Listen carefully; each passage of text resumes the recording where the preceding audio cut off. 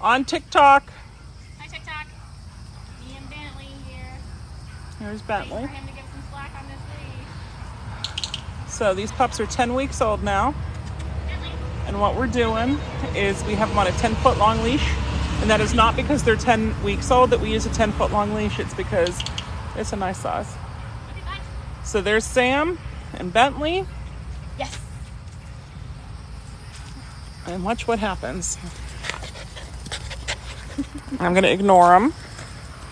So he has this whole wide open world to explore. If Sam catches him near her, she's going to click and reward.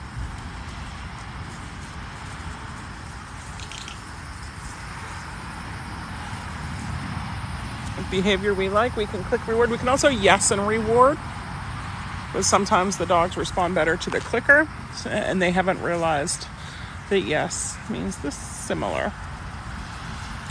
So, one of the things that Sam likes to do is explore with the puppies and see what they can find and how much fun they can have together. So, the walk isn't, I'm going to hold you back over here and you're going to go my way because, gosh darn it, I'm a person with thumbs.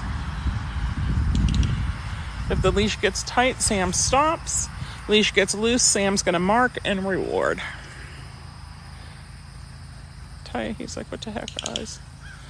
And it teaches him that the leash, that they only move forward. They only move forward if uh, if the leash is loose. And he peed right before they came out of the fenced yard. So our property, we've got over five acres here. We've got a six foot chain link fence that surrounds the whole property. You can see it right there, right behind Sam. But we have another fence around the dog yard. So that's where they come out. So they've played there before. They are on their flat collars. We do have martingales that would fit them. We do not have them on martingales because we still have a dozen puppies here, 13 when Tara brings her puppy over. And I don't think we have 13 different colors. So we have to know who's who. So they're on all their different ones. So like I said, we could change them up. We could just put a martingale on it for leash work. That's usually what we use, but this is a flat collar. So he's like, no, Oh, I hate the leash. I hate being tight on the leash. So how can he figure out how to move forward? He's like, no, fucking hell, I hate this. Yes. Leash is loose, mark, and I'm gonna ignore him.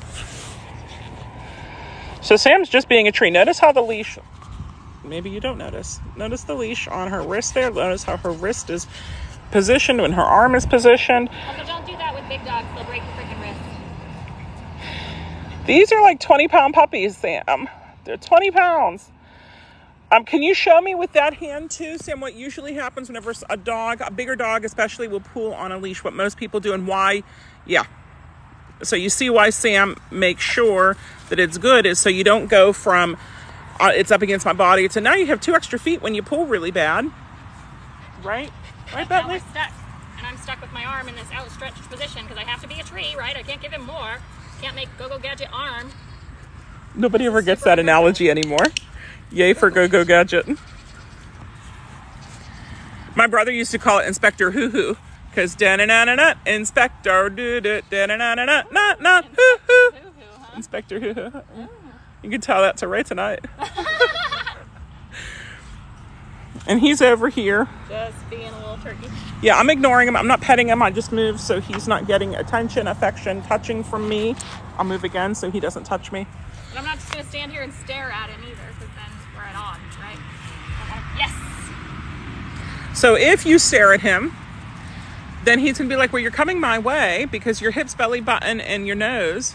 No, what? Nose, belly button, toes. That's what it is, not hips. Well, I guess hips too. But nose, belly button, toes are going in my direction. So why should I come to you? So Sam's pointing nose, belly button, toes in the direction she wants to go. She can also be like, "Woohoo! Look at this leaf on the ground. It's much more exciting." Good boy. So he did back up, but she uh, a little more. Right? And then notice how she bends over, squatsy downsies.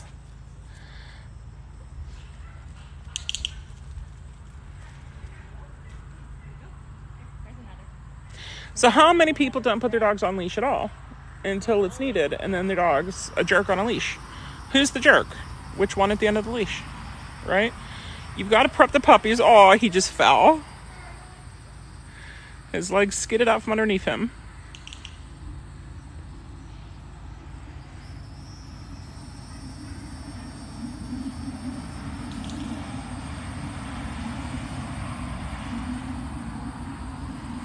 Now he's hanging out a little bit more. Notice that? Now he's getting underfoot a little bit. Is that okay? It is for right this second. So she wants him to come over and smell this, and she's like, look at that. And when he smells it, she clicked him and she rewards him. And he can smell it a little bit more, or maybe they'll go and smell this other one. Oops. And he came right back that time. He didn't do the whole, no, I don't want to. He almost made Sam trip and fall, but that's okay.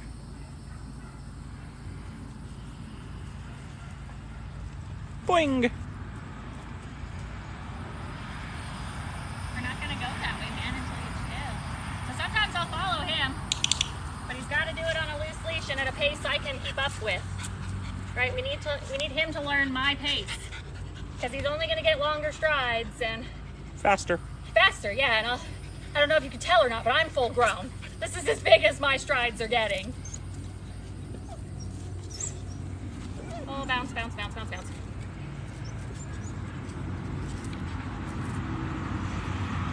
I am willing to let him lead the way sometimes, but he has to do it in a way that's fair to me. So I can click and then move towards him as long as he's on a slack leash. And I would offer him some food, but he ran off. So don't you're not chasing him down to make sure that he gets food shoved in his face. Nope.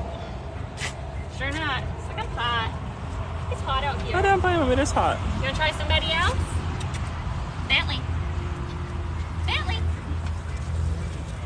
So I dropped the leash because he's under the truck and I wasn't about to pull it. Well, he's not anymore. He's over there. But he was, he went under the truck and I was not about to crawl under the truck. Um, I wasn't gonna get him tangled up. I wasn't gonna get him tangled up around the tire. This whole property's fenced in, but I dropped the leash before there was any tension on it. I don't want him to learn to pull to make me drop the leash, right? No tension. If I feel like letting the leash go, I can, as long as there's no tension. And look, and then he, he came back. back. Hi. And we can pick the leash up again and get it out from underneath And notice she's making sure it stays slack. Mm-hmm. He said he'll hide underneath me. There's shade yeah, under there's shade under there. Bentley. Yes. I had to lift up my foot so it didn't get wrapped up in it. Yeah, it. it's already wrapped up on the chair leg. Which is oh. another reason I dropped it. Come here. Come here, buddy. Good boy. There we go. So I can lure him to get him to untangle. Won't. He hit the end of the leash before I could get it where I wanted it in my hand, so now he went from 10 feet to 6 feet. But once he slacks, I'll give him the rest. Boom. Oh, And notice how Sam has her hands. This is, if you guys ever played freeze tag, this is like ultimate freeze tag. yep. If I ever feel tension, I arrest motion. That means freeze. And as soon as he slacks, there we go, I can come towards him. Because we're trying to make it towards the house, which is the direction he's going anyway. So as long as the leash is loose, boom shakalaka.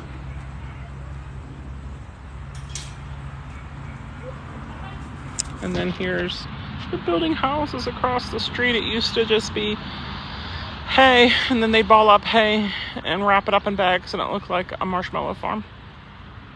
So here's here's the house. Rich is over there with one of the pups.